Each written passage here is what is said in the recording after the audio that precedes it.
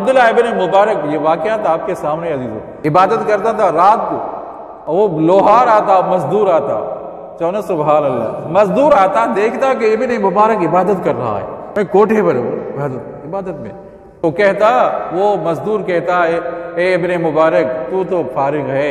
समझा नहीं, कोई काम धंधा है ही नहीं है। समझा नहीं? तो मैं सारा दिन मजदूरी करता हूँ।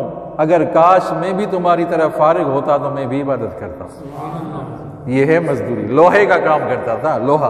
अजीजो कराम ने फरमाया मैं बात नहीं कर रहा अपनी बात नहीं कर रहा वो मजदूर जो रेडी चला रहा है ना दुकानदार दुकानदारी कर रहा है मजदूर है आ, रोज़ाना उसको सौ दो सौ पाँच सौ मिल रहे हैं। समझा दें अगर वो हलाल की कमाई खाए अगर सुन्नत की इत्तबा करे ताबेदारी करे तो इस दौर का वो जुनेद बगदादी है। इस दौर का वलीउल्लाह है।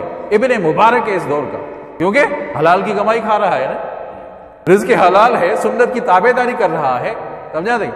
मजदूरी कर रहा है, अपने खून पसीने की कमाई कर रहा है, समझा? इस दौर का वलीउल्लाह है। और ऐसे है हमारे, ऐसे?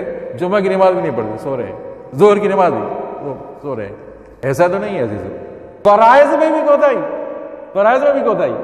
तो किसी ने देखा, इबन मुबारक को किसी ने देखा ख्वाब में देखा कि इबन मुबारक तो जन्नत में है, पर इबन मुबारक से पहले वो लोहार जन्नत में जा रहा है। क्या बात है? हा? कीमती चीज़ हो सस्ते दाम में खरीद करो खरीद करो। ऐसा ना करो, खरीद तो इतने पैसे ले लो, जाओ। हा? कोई पाँच किलो रोटी ले आया, अगर पाँच, दस रुपए ले लो। ऐसा ना करना।